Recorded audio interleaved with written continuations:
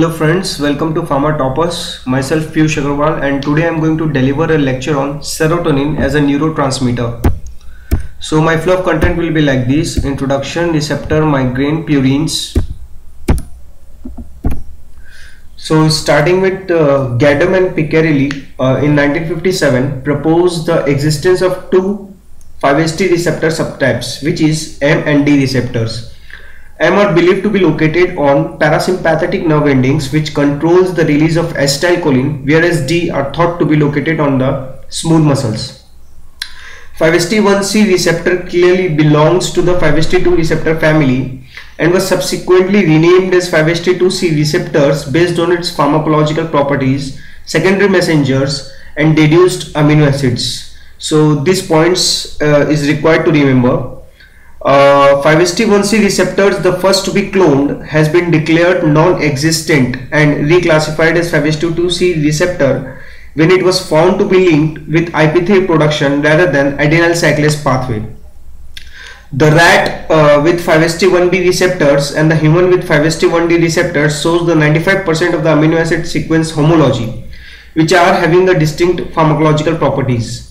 So the rat are having the affinity for the beta antagonists such as pindolol and the propranolol which is 2 to 3 order of magnitude higher than that of the human 5-HT1D receptors and the difference in the amino acid lies on the 7th transmembrane span which is threonine in case of 5-HT1D receptors versus asparagine in case of rodent 5-HT1B receptors. So these are the point to be remembered. Again Bezold reflex which is characterized by the effect of vagus nerve endings which elicit the reflex causing the extreme bradycardia and hypertension. So 5-HT has a positive inotropic and the chronotropic action on the heart that may be blunted by simultaneous stimulation of the afferent nerves from baroreceptor and the chemoreceptors. So this is responsible due to the serotonin and it, it can be antagonist uh, by giving the atropine. So 5-HT receptors uh, is stored in the neuron uh, or serotonin is stored in the neuron uh, and chromaffin cells as a co-transmitter together with the various peptide hormones such as somatostatin, substance P, vasointestinal polypeptides. Serotonin is considered to be as an vasoconstrictor substance which is found in the serum after the blood clot and the origin of which is involved is platelets.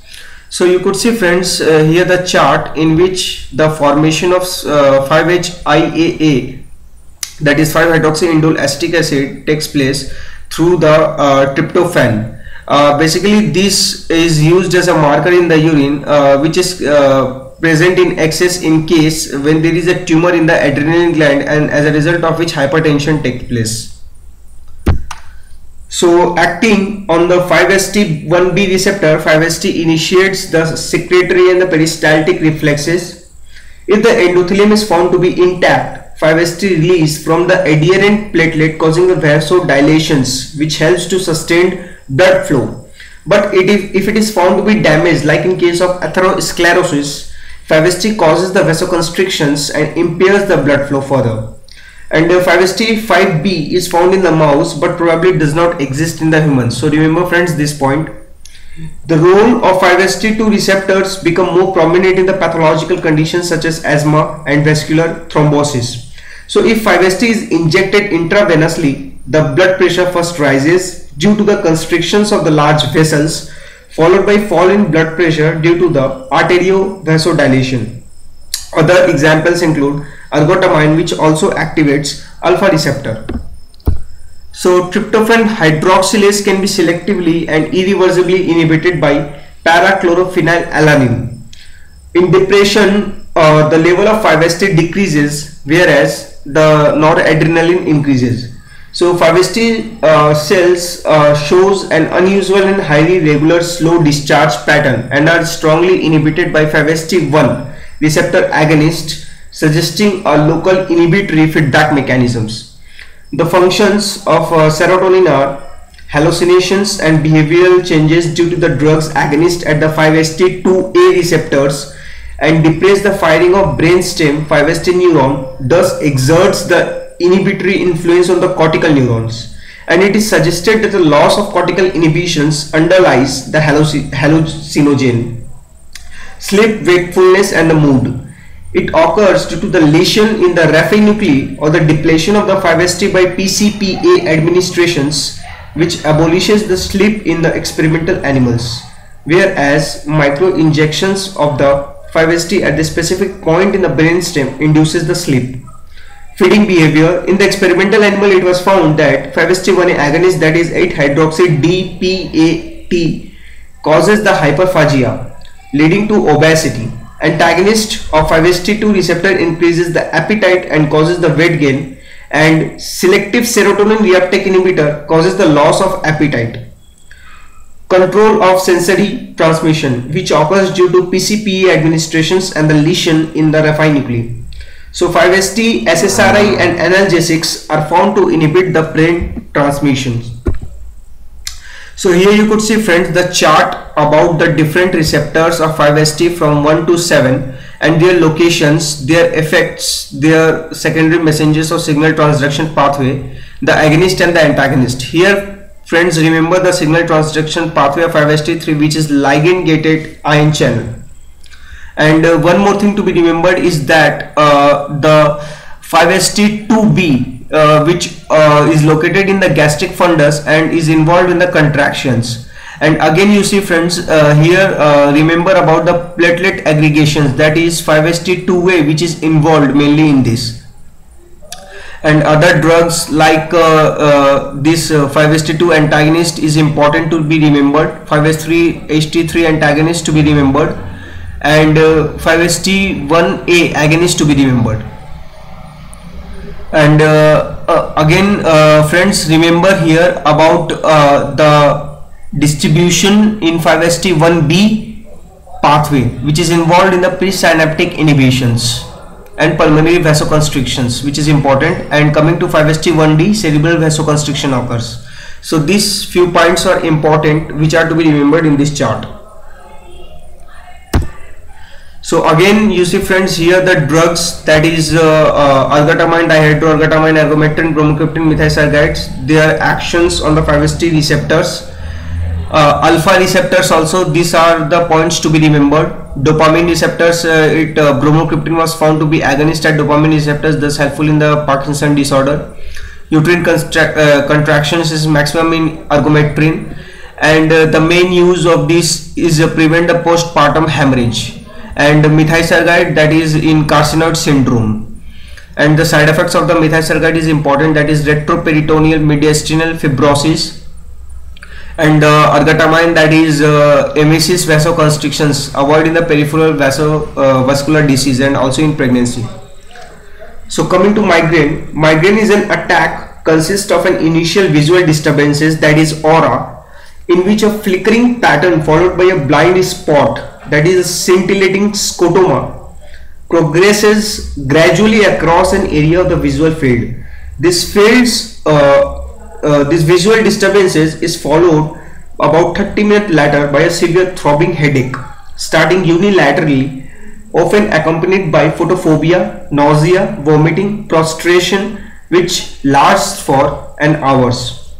So here you could see friend the graph between the cerebral blood flow percentage for uh, with the hours. Uh, as the time increases the headache also found to be increased. Uh, first aura occurs followed by the headache and you could see the cerebral blood flow is decreased in case of aura but in case of headache the vasodilation occurs and the blood flow is increased so these are uh, the few pictures uh, which helps you to remember easily about the difference between the headaches that is you could see their type of, of headaches like TMJ, sinuses, cluster, tension, migraine, neck. Uh, here sinus cluster, tension, migraine. These are the other pictures and also these pictures like tension, sinus, cluster and migraine so these are the different pictures you could uh, these uh, these are to be given for you to remember this uh, for your easiness. So here is the pathophysiological mechanism uh, which deals with 5-HT uh, receptor uh, so uh, tryptophan uh, activates the vascular endothelium thereby uh, the nitric oxide releases and which cause the dilation of the extracellular vessels and the sensitization of the sensory nerve thus sending the sensory nerve discharge and thereby as a result of which pain and aura occurs. So this also controls the central pain sensitizations so these are the peripheral mechanisms uh, the norpeptide release that is CGRP peptide which is important which activates the neuroinflammations and thereby release of the mediators like prostaglandin and kininogen. Also activates the synergistic action of vascular endothelium so the in case of central mechanism unknown factors which causes the spreading depressions and thereby aura and central pain sensitization thereby the pain. So these are the drugs to be used which act as a blocker that is 5-HT2 antagonist, NSAIDs, 5-HT1D agonists. Uh, the receptor of which is involved is friends here 5-HT2 receptor which is important. So coming to the theory of the migraine there are the three theories starting with first hypothesis that is the classic vascular theory which is implicated an initial humerally mediated intracerebral vasoconstriction causing the aura followed by an extracerebral vasodilation causing the headache. So the headache usually begins during the initial vasoconstrictor phase. The vasoconstrictor starts posteriorly and gradually spreads for forwards over the hemisphere implying a neural rather than a humeral cause. The second hypothesis which is brain hypothesis links migraine to the phenomenon of the cortical spread depression. The aura phase of the migraine attack is associated with a wave of spreading depressions. The third hypothesis which is sensory nerve hypothesis proposes that the activation of the trigeminal nerve terminals in the meninges and extracranial vessels in the primary event in the migraine attack. So this would cause the pain directly and will also induce the inflammatory changes through the release of the neuropeptide and from the sensory nerve terminals. So friends, uh, there are some models of the migraine which are developed in the animals. For example, if applying the KCL topically, uh, migraine could be induced uh, as well as use of capsaicin which is also can cause the migraine uh, because of release of the CGRP peptide as a result of which the pain receptor is activated and thus the migraine is produced.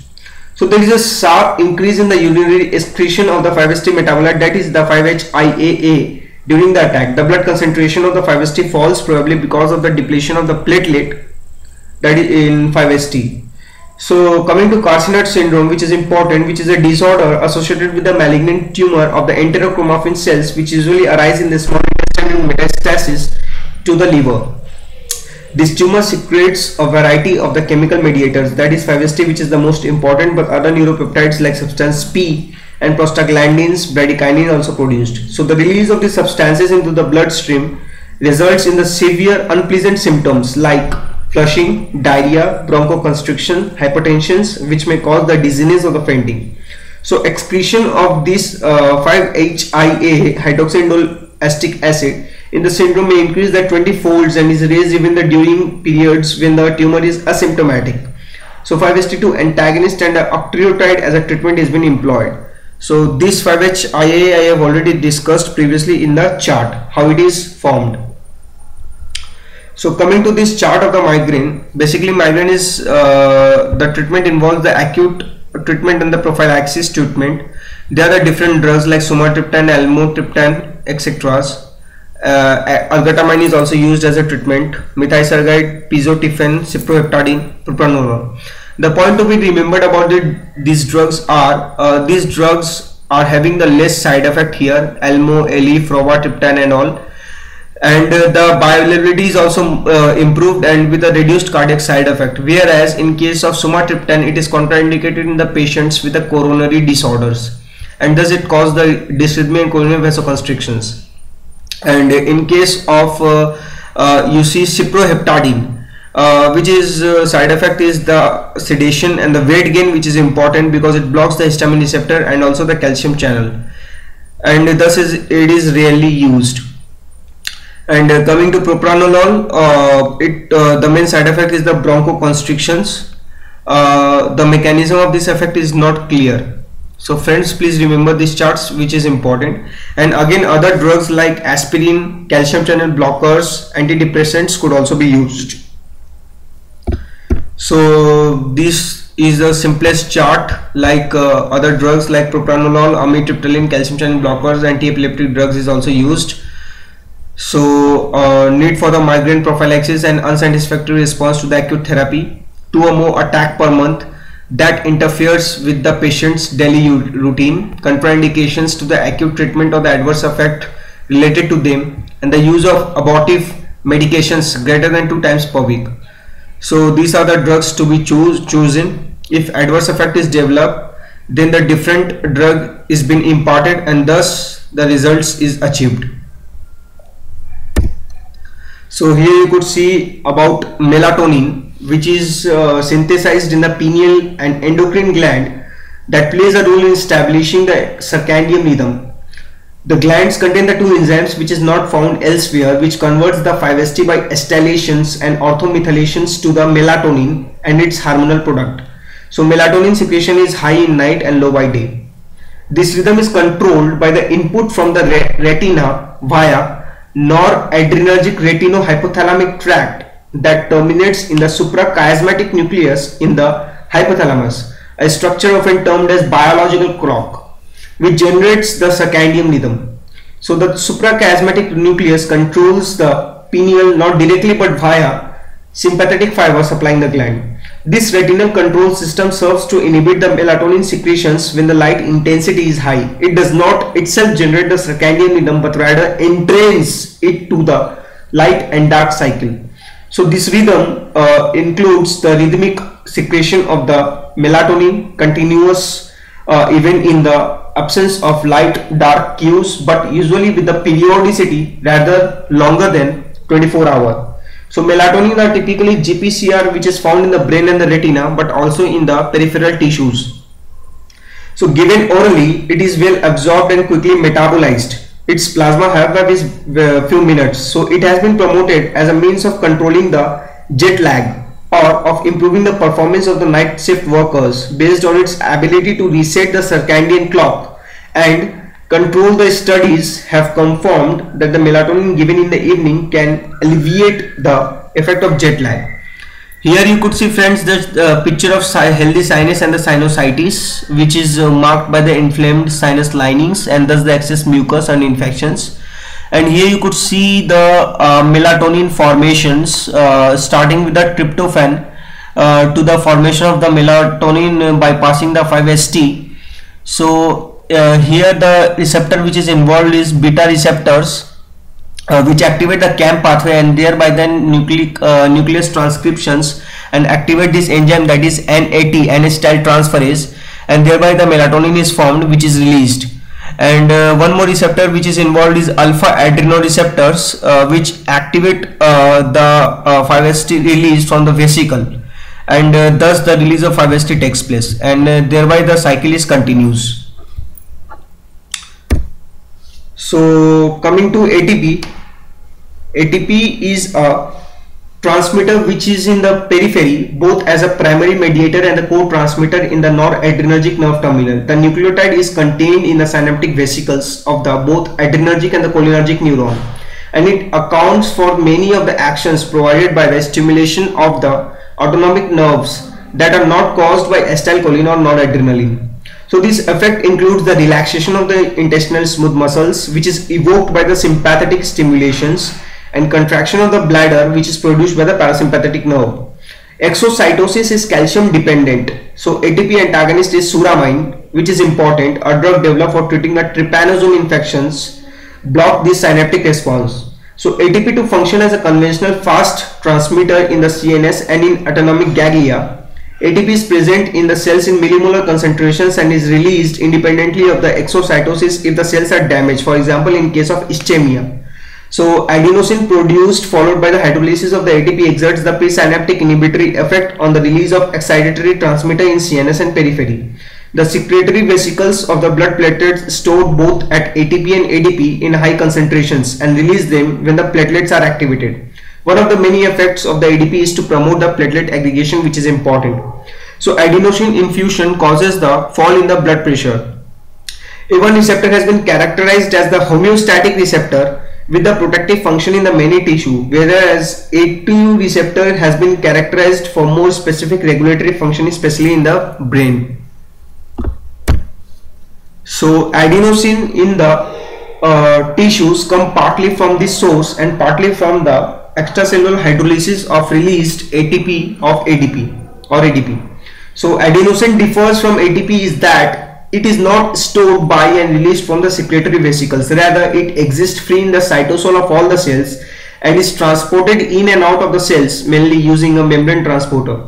So adenosine is destroyed or taken up within a few seconds of the intravenous. Adenosine uptake is blocked by the dipyridamole which is important a vasodilator drug and an antiplatelet drug. Adenosine has been identified as a potential mediator of the cytokine release from the mast cells of hyperactivity of the vagal and other way airway neurons in asthma so here you could see friends the charts where the uh, ATP uh, hydrolysis to AMP and thus to adenosines and uh, through this transporter adenosine uh, act on the P1 receptor that is purinergic type 1 whereas ATP through exocytosis calcium dependent acts on uh, P2X and P2Y receptors. These are ligand gated and these two are the G protein coupled receptors. So this way the cycle continues. The point to be important is that if it is leakage then ATP is directly produced. This is important. So A1 receptor uh, functions are vasoconstrictions blockage of the cardioatrioventricular conductions and reduction of force of contraction bronchoconstrictions inhibitor of the transmitter release at many peripheral and central synapse neuroprotections in the cerebral ischemia probably through the inhibition of the glutamate release. Adenosine generally exerts a pre and post synaptic depressant action, reduce the motor activity, depressing respirations, inducing sleep and reducing anxiety. A2 receptor produce the vasodilations include the coronary vessels except in kidney, which is important, inhibit the platelet aggregations, stimulation of the uh, nociceptive afferent neuron, especially in the heart. Adenosine release in response to the ischemia has been suggested as a mechanism of the anginal pain. Carotid body afferent are also stimulated causing the reflex hyperventilations. Uh, the action of A3 is the release of mediator from the mast cells. This contributes to the bronchoconstrictions. Now coming to the purinergic receptor which is P1 receptor divided into A1, A2, A3 and subtypes which are GPCR response to adenosine and they link to the stimulation or inhibition of the adenyl cyclase. P2 receptor which is P2X and P2Y subtypes which responds to the ATP or ADP P2X receptors are multimeric ionotropic receptors whereas P2Y which is of 8 subtypes are GPCR coupled receptors to the adenyl cyclase or phosphoinositide metabolism. P2X1 receptors are expressed in various smooth muscles. ATP is a core transmitter released by the sympathetic nerve and P2X1 receptor are responsible for the initial contraction. P2X2 receptor are expressed in many brain regions and mediate the fast transmission by ATP in the brain P2X3 receptors occur in nociceptive afferent neuron and may participate in the pain associated with the ATP release through the tissue injury. And last P2X7 receptors are unusual and it in that activation cause a large and non-selective increase in the membrane permeability. So these are expressed mainly by the cells of the immune system which is important and this they control the release of the certain cytokines. Methylxanthines that is A1 and A2 receptor antagonist increase the CAMP by inhibiting the phosphodiesterase which contributes to the pharmacological action independent of the adenosine receptor mechanism or antagonism. Example of which include is caffeine which causes CNS stimulations whereas P2 receptor is blocked by suramin an experimental compound in PPADS. Adenosine may be used as intravenous bolus injections to terminate the supraventricular tachycardia so friends just uh, remember this chart. Uh, basically the transmitter involved is purine serotonin.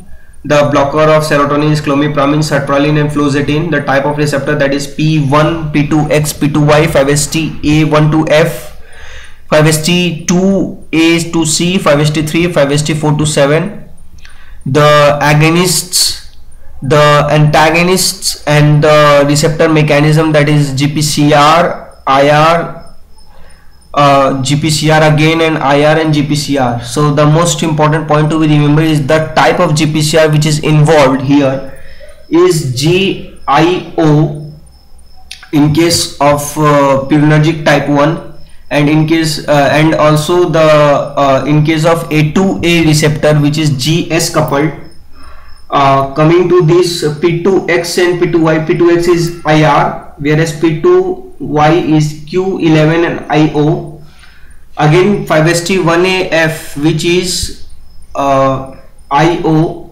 and uh, 5ST2A2C which is Q11 5ST3 which is ionotropic receptor and whereas 5st4 which is gs coupled.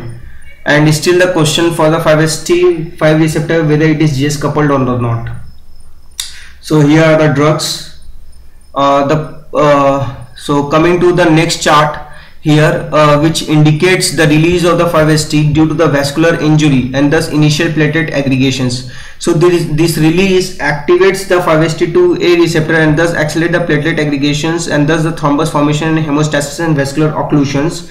Again this uh, release of 5ST activate 5ST1 receptor thus the release of endothelium uh, of NO from the endothelial cells and thus the vasodilations. Again, this activ activate the 5-HT2A receptor causing the vasoconstrictions, thereby hemostasis and the vascular occlusion. So again, uh, this chart uh, uh, uh, uh same as previous, but the difference lie is in the uh, different types of the receptor which is mentioned more appropriately appropriately here. The secondary messengers uh, some of the comments uh, basically the point to be remembered about here is the subtypes and also the secondary messenger systems and the currently accepted names. So again here uh, this uh, gene structure is important here. Which of the receptor subtypes is intronless or containing introns? Uh, and the signal transduction pathway. The localization is most important and here the function the point to be remembered is about the autoreceptor which is 5st1a and 1b which act as an autoreceptor the agonist antagonist. And uh, coming to this uh, uh, this site uh, where the location of the 5ST and their response has been shown and the subtype of the receptors. And this is important basically this is uh, based on the electrophysiology in which the different receptor subtypes shows the hyperpolarization depolarization and the repolarization here depending on the potassium ions uh, whether it is increased or the decreased. So these are my references. Uh, thank you. For more videos and materials or any queries feel free to subscribe us at www.pharmatoppers.com